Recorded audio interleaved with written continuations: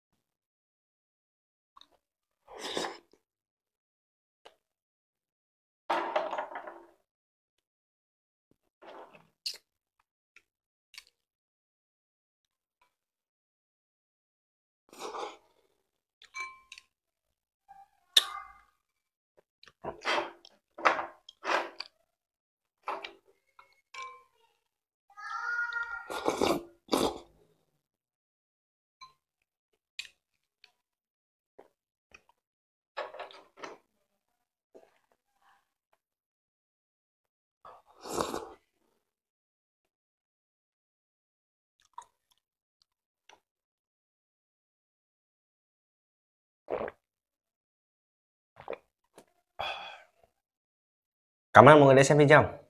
Bye bye.